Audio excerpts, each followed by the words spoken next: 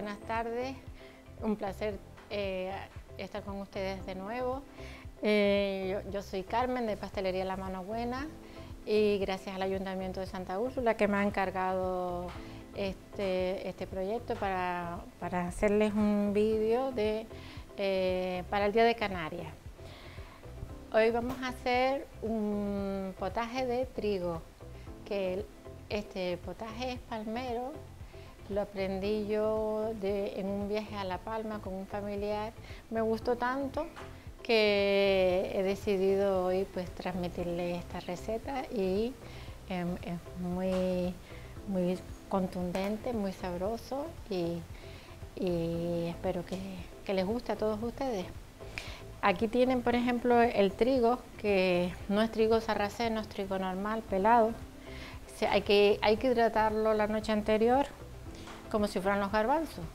Entonces yo he puesto a hidratar el trigo eh, anoche y aquí lo, tengo cocinando solo eh, antes de echarle las verduras.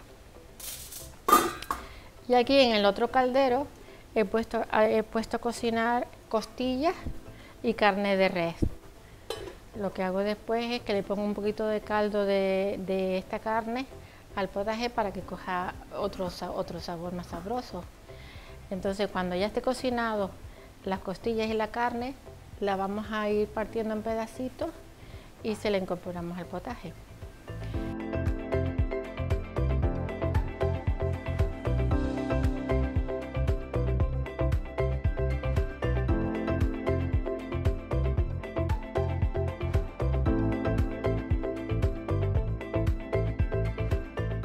Bueno, ya tenemos el, llevamos como media hora con el trigo cocinado.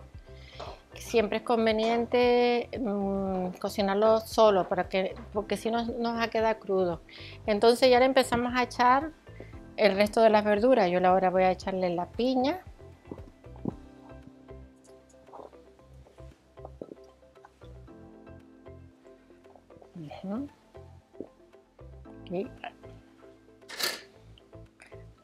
Tenemos batata troceadita. Esto es un potaje que no lleva fritura. Al final va a llevar ajos y pimentón, que ya lo verán ustedes. Aquí le echamos la cebolla. Va todo en crudo, ¿eh? Aquí, por ejemplo, todavía no tiene la carne.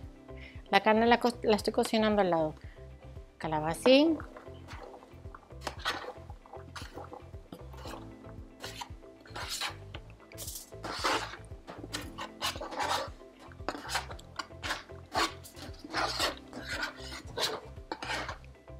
calabaza,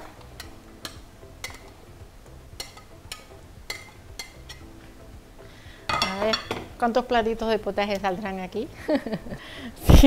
un par de ellos, ¿no? Col. Ya está todo lavado, todo bien troceadito. Esto es un trabajo previo.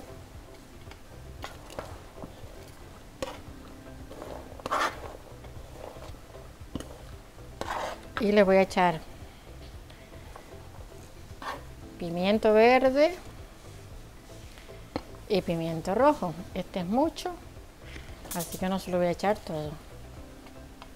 La cebolla.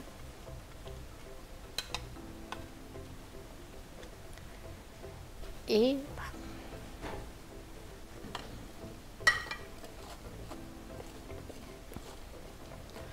ahora seguimos. No le he echado la sal porque le voy a echar después un poco del caldo de guisar las costillas y la carne se la voy a echar aquí como se supone que este caldo está salado la sal se la vamos a poner eh, al final. Y luego también llega un poco de colorante para darle un poquito de color. Y ahora continuamos con el en el fuego. Como 20 minutos o 25 minutos. Voy a incorporarle un poco del caldo este porque ya la carne está guisada y esto le da buen sabor también al, porque este tiene sal. que es el de la el de haber cocinado las costillas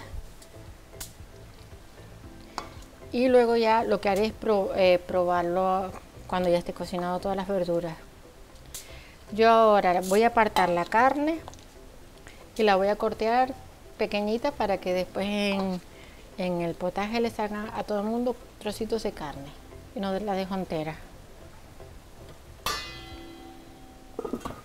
Bueno, esto está hirviendo y, huele riquísimo. Entonces yo ahora lo que hago es ponerle un poquito de color, un poquito de colorante.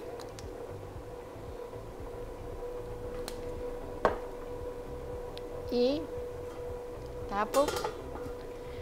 Y entonces aquí he cogido un poquito de aceite de oliva y aquí tengo ajos ya machacados.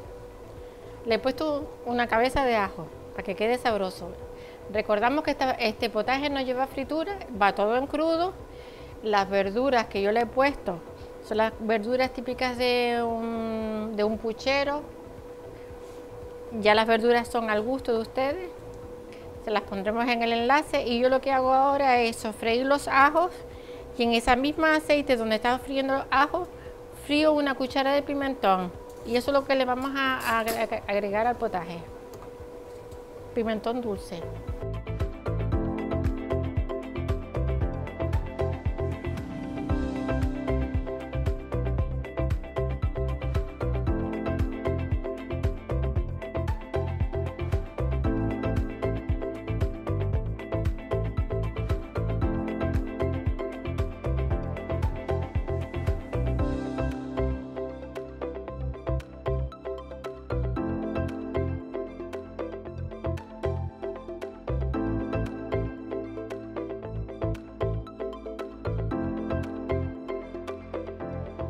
Y justo cuando se estén empezando a dorar le echamos el pimentón para que no esté mucho tiempo en la sartén y se nos queme y ya se lo incorporamos al potaje.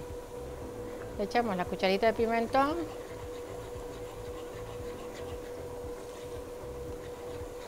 Lo revolvemos bien y ya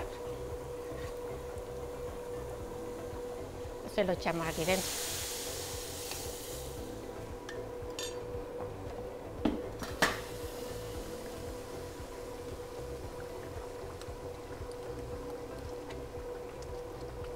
Y lo dejamos todavía unos minutos más. Ya lo único que faltaría añadirle es la carne que ya la tenemos desmenuzada.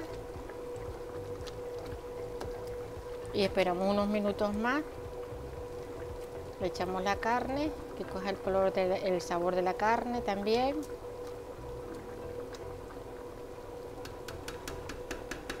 Y continuamos. Bueno, ya el potaje se ha ido haciendo, el potaje de trigo, y ya he cogido la carne de res y la he partido en trocitos pequeñitos.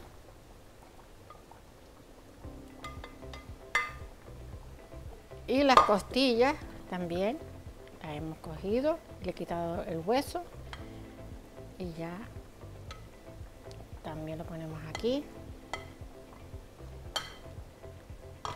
Ahora se trata de, perdón un momento, voy a coger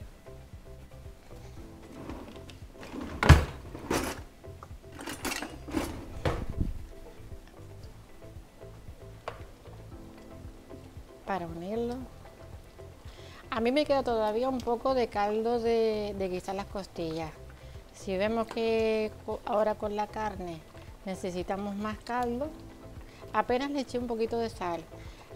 Eh, al ponerle la batata y la calabaza, pues queda, queda así un poco medio dulzón. Entonces le eché un poquito, un poquito de sal y no mucho porque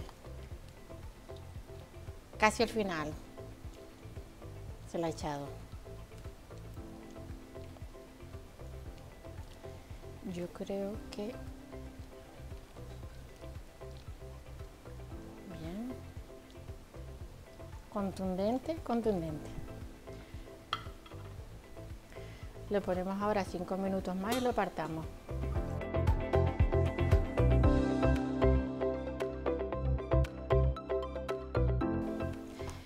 Hoy con nuestro potaje de gofio vamos a, tener como aperitivo eh, unas recetas de aprovechamiento. Esta receta me la enseñó eh, un profesor de cocina que se llama Fernando Castilla en el Realejo y eh, dimos un día una clase de recetas de, aprovechamiento, de comida de aprovechamiento. las papas que nos hayan sobrado del día anterior, las que nos hayan sobrado, es importante ponerlas en nevera. No, no se puede hacer esta receta si no están en nevera. Entonces yo las acabo de sacar de la nevera, son de ayer, las, saqué de nevera y eh, lleva un buen mojo, que ya ustedes saben hacer mojo mejor que yo. Luego lleva eh, tierra de millo, o sea, millo de este, que lo hemos triturado en cualquier aparato que tengamos para moler. Y luego de decoración, eh, rúcula. Entonces es muy sencilla, y a la vez muy rica. Con la, con la palma de la mano, por eso lo de estar bien fría y del día anterior, la escachamos. Entonces tiene que quedar la papa así. Esta se nos rompió. Y vamos haciendo eh, a todas el mismo proceso. La escachamos.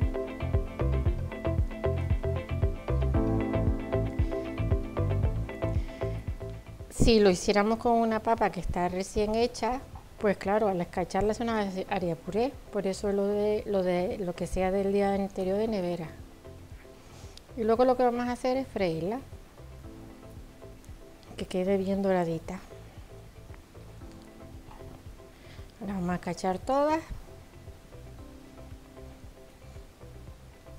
Esto es una receta, eh, por lo que nos decía en la clase de cocina Fer, de, que es una receta también muy, muy tradicional y muy, muy antigua de nuestras abuelas que hacían recetas de aprovechamiento.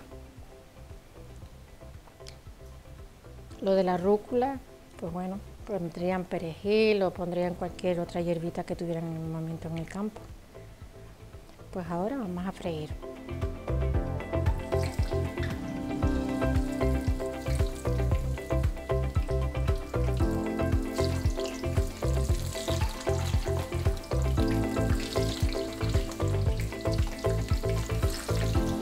Tiene que quedar crujiente, o sea que lo dejan un buen ratito porque el, aperitivo este tiene que estar la, papa bastante crujiente. Ya está cocinada, por supuesto, es una papa guisada, pero eh, tiene que darle ese toque crujiente en boca. Luego la mezcla salado de la tierra de millo con el mojo es que le va a dar el toque espectacular. Y son ingredientes que siempre tenemos en casa.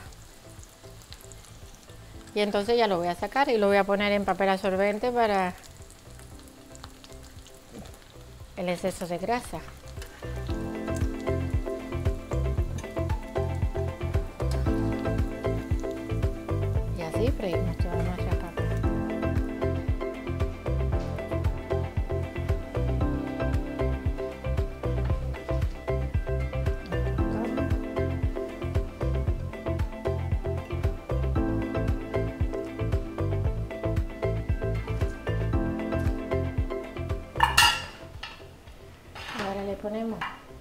Cucharada de, de mojo rojo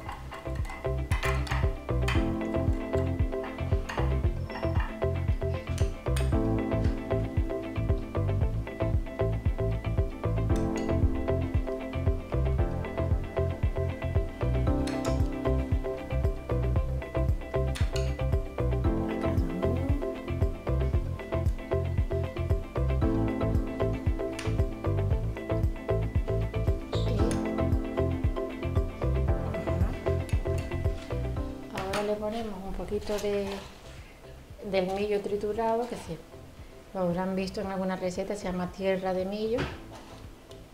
Es nada más que el millo de paquete de ese que se compra. Eso lo venden en cualquier supermercado. Lo trituramos, le ponemos bastante encima le da un toque crujiente y, el saladito ese a la papa. Y decoramos con hojitas de, de rúcula o lo que tengan en casa, o como si no lo quieren decorar. Ya está, eh, este plato está bonito así.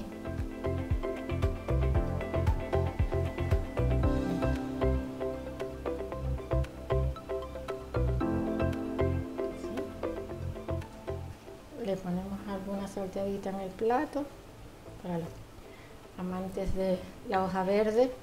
Pues nada, eh, ya tienen el aperitivo. Eh, espero haberles ayudado con mi, experiencia en cocina, mi poca experiencia en cocina. Y, nada, ya cualquier duda me, me pueden llamar o mandar un WhatsApp. Aquí estamos, Pastelería La Mano Buena en Muchas gracias.